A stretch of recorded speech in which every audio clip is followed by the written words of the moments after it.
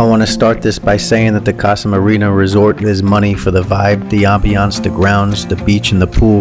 But I do have a public service announcement for you about the food. Ah, yeah, VFC Travels on YouTube. Subscribe. I usually don't give bad reviews, food reviews. Everybody's got their ding. Not everybody has a great palate like VFC does. But for the amount of money you spend here, I feel like I gotta say something.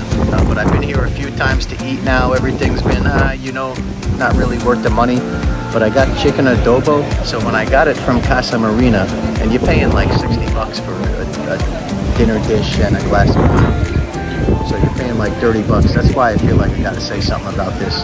Not much flavor. The chicken was, you could tell it was cooked from frozen, which means there's no, no marinade going on. So the, flavor kind of sucked. And the outside herbs and spices on the skin could barely taste anything. The rice was uh, decent, but again, for $30 a plate, come on, get your shit together with this one. It's a Hilton property too, so Hilton's got to get their shit together a little bit with this one. But if you're gonna spend the amount of money you spend on a plate at Casa Marina, five minute walk away is Louie's backyard. It's high-end dining again. You're gonna pay, but you're not gonna get a bad dish in that place. This is disappointing, very sad to say, and I don't do negative reviews except for Papa John's New York style pizza. Watch that video.